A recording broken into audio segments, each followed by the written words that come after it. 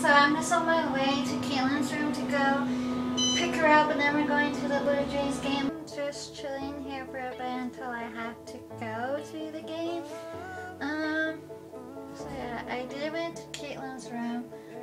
I thought I was just gonna pick her up and then I was gonna out, but apparently I still had time to get ready, so I just like restrained my hair. And this is the top that I'm wearing for the games.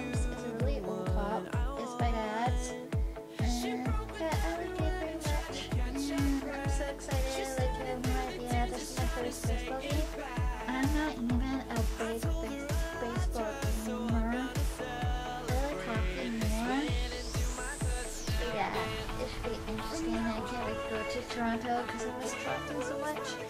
And our farm was in Toronto actually yesterday, so hopefully they're still there, but I doubt it. And yeah.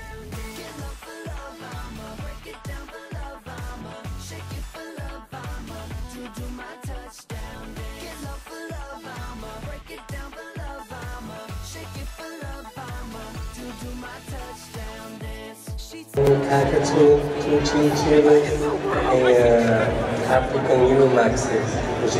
is. It's on the game time. And Jay Boys, that's your contestant for us. It's Chris. Hi, Chris. We're going to find out what on the game safely.